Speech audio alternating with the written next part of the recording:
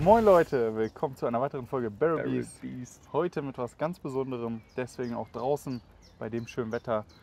Wir sind auf Orientierungslauf, haben uns aber schön was für die Freunde mitgenommen, nämlich Friends of Lafroig, die Sonderabfüllung Kerdas 2024.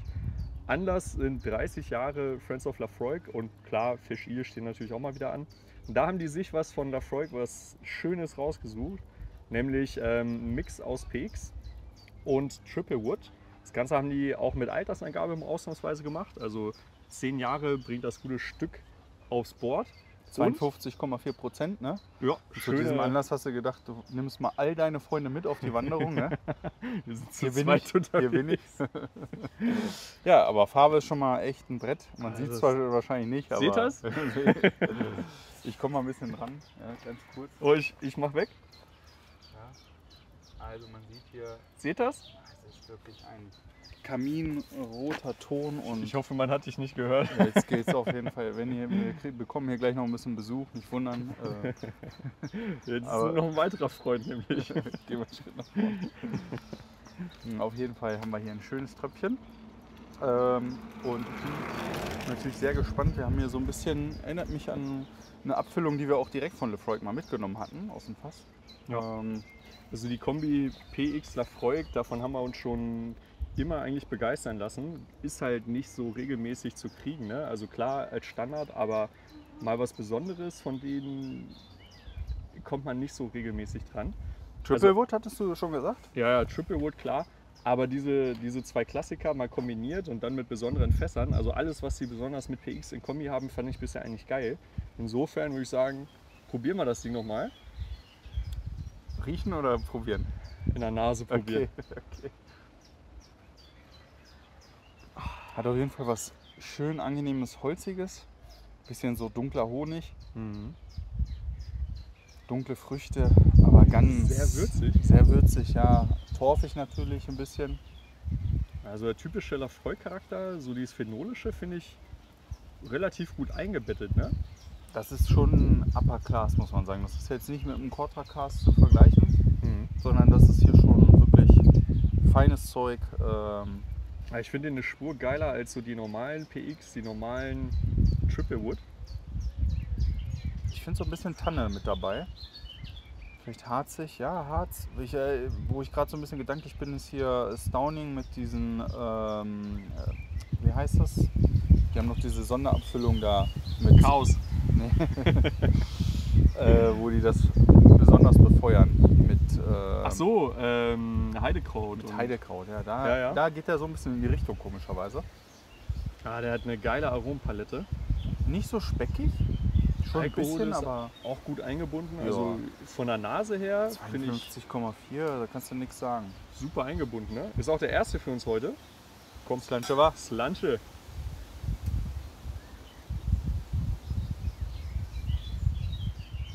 Mm.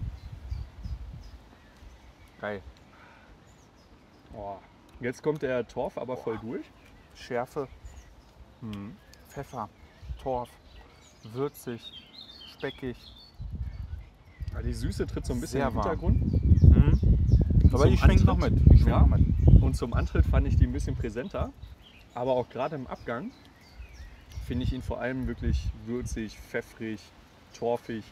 Also alles, was man so mit Lafroig noch verbindet. Aber das ist keine Pfeffrigkeit, wo man jetzt so sagt, boah, das ist völlig drüber. Sondern das ist total ah, so lagerfeuermäßig ähm, angenehm. Mhm. Ja, Ganz Also gut ich- eingebunden, muss ich, ich finde auch, es schmeckt, ne? Mhm. Geiles Zeug. Doch, das schmeckt mir sehr gut. Hat wirklich eine Würzigkeit, also da muss man schon drauf stehen. Aber ich muss auch sagen, wie, wie Till gesagt hat, das ist unser erster heute. Ja, und der Und- Alkohol, ne? Und dafür ist er brutal gut. Ne? Also ich sag mal, wenn das der zweite oder dritte wäre, der wird, glaube ich, einige in, in eine Tasche stecken. Insofern äh, performt er hier gerade sehr gut. Ähm, so beim zweiten Trinken wird beim nächsten bestimmt auch noch, wird er immer kräutiger, finde ich. mhm. Also so eine Mischung aus, ja, vielleicht so Kräuterhonig, ne? Also die Süße kommt jetzt bei mir immer mehr. Aber was ich schön finde, ist, dass die Pfeffrigkeit da bleibt, aber so ein bisschen mehr ja, unterstützt wird durch die Süße, ne? Also das Ding hat sich mal gelohnt. Ne? Ja. Die letzten Jahre, Kerdas fand ich auch okay. Aber Preis-Leistung hat da ein bisschen geschwächelt, finde ich. War auch keine Altersangabe und so weiter, halt so ein paar Schwächen. Bei dem hier muss ich sagen, zum 30-Jährigen haben die sich nicht lumpen lassen. Sehr lecker. Also ist wirklich eine Empfehlung wert. Ich weiß nicht, ob du schon über den Preis gesprochen hattest. Magst du da was zu, äh, zu sagen? Ja, wie jeder kennt das. Ne? Also ist eigentlich der Standardpreis das Ding. Ich habe es jetzt nicht genau auf dem Schirm, aber um die 90 Euro liegt da. Ich glaube 95 Euro hatte Ja. ich gesehen. Und Versand halt, ne? Also wir können mal sagen, so 90 bis 100 liegt der. Das ist schon eine Ansage, aber ich sag mal für einen Lefroy in der Qualitätsstufe äh, auf jeden Fall eine Empfehlung wert. Ne? Also da, da ist er schon echt top dabei. Und klar, den wird es nicht unendlich lange geben, aber die haben schon eine große Stückzahl gemacht. Klar, bei dem 10-jährigen Triple Wood und PX haben die sich ein paar schöne Fässer dann geholt, ne? aber das ist jetzt nichts, wo die sagen, okay, das Ding limitieren wir mal auf 500 Flaschen oder 100 Flaschen oder so oder wie viel auch immer, sondern die wollen damit schon ein kleines Geschenk, glaube ich, an die Community geben. Also für mich ist super gelungen. Ich habe noch so ein bisschen Limette und ansonsten echt, echt pfeffrig auf jeden Fall. Ne? Aber schön. Also gefällt mir. Ja, also von nicht so ist so einer der besten Abfüllungen, würde ich sagen, die sie Ja. rausgebracht haben, so der letzten ein, Highlight. zwei Jahre. Also gefällt mir. Ja. Ich erinnere mich an diesen, ich weiß leider nicht mehr, was für ein Fass das war, aber das hatten wir auch im Video, glaube ich, mal von Lefroy, was ich aus dem Fass gezogen hatte. Der, Mhm. Da geht er in die Richtung. Mhm. Der ist ein bisschen, das war glaube ich ein Finot. Äh, der war natürlich deutlich anders vom Sherry-Charakter, aber Mhm. der hat so ein paar Noten davon. Das gefällt mir echt gut. Also da merkt man schon, ähm, wie gesagt, dass wenn Lefroy halt so eine, kann auch eine andere Ecke außer diese Quattro Cask, sage ich Ja, mal, äh, safe. bestreiten. Insofern lohnt sich das immer mal wieder dahin zu gucken. Also das hier ist nicht so die Apothekenschiene, die sie sonst so gerne haben. Ne? Das ist schon geil. definitiv. Macht Laune. Wollen wir den mal ja, ich, benoten? ich würde den gerne benoten. Ja? ja? Soll ich anfangen oder wie? Ja. Also ich mache mal heute ein Sonderrating. Farbe, ja.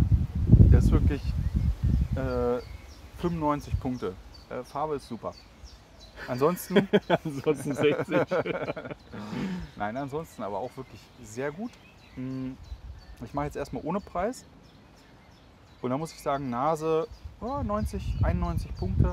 Geschmack auch, gefällt mir sehr gut, könnte noch ein Mühe mehr haben. Aber deswegen 89 Punkte und im Abgang auch 90 Punkte. Also es ist wirklich so Hm. relativ glatten 90er Whisky für mich. Da kann ich nicht nur lachen.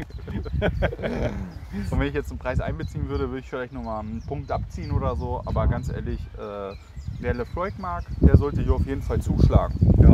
Also rein subjektiv, ne, klar, man kann dafür ähnlichen Preis auch ein bisschen mehr kriegen. Aber ich meine, Lafroig, ne, Sonderabfüllung, das ist schon geil. Und wenn er dann auch super schmeckt, und das tut er hier, kann man sich nicht beschweren. Ich gebe mir immer Nase auch 89 Punkte. Im Geschmack gehe ich ah, auf eine 88. Im Abgang finde ich ihn wirklich gut, gebe ich einen 90. Also durchweg gelungenes Ding. Sonst Kehr das finde ich wirklich so drei, vier Punkte schlechter. Also Mhm. Das das hier, wenn man das sammelt, sowieso zuschlagen. Ansonsten, wenn man immer mal geliebäugelt hat, ne, jetzt ist der Moment gekommen, sich Ja. das Ding mal zu holen. Schöne Sache. Also insofern Kaufempfehlung für 95 Euro kann man natürlich immer überlegen, aber wenn man Lefroy mag, dann sollte man auf jeden Fall zuschlagen, würde ich sagen. Ja. Und wenn man auch so ein bisschen Würzigkeit, Pfeffrigkeit mag, dann ist man hier gut aufgehoben. Das ist top eingebunden. Ja, und wie viele Whiskys mit über 50% kannst du als Starter trinken und die erschlagen dich nicht? Ne? Also der hier wird immer performen am Abend. Klar, wenn man vorher einen 60-prozentigen hatte, nicht. Aber sowohl als Starter, Anfänger-Whisky oder auch wenn es später wird, kann das Ding überzeugen. Das ist schon eine reife Leistung. Perfekt. Tja, in diesem Sinne würde ich sagen, vergesst nicht zu abonnieren. Die Glocke? Die Glocke zu kommentieren. Wir sind auch bald auch bei Twitter, glaube ich. Ja. Nein, sind wir nicht. Erstmal müssen wir noch ein Stückchen wandern. Dann sehen wir uns, wer aus Hause Wir müssen erst mal wieder nach Hause kommen, genau. sind. Sind wir hier überhaupt? Alles klar. Macht's gut. Ciao. Ciao.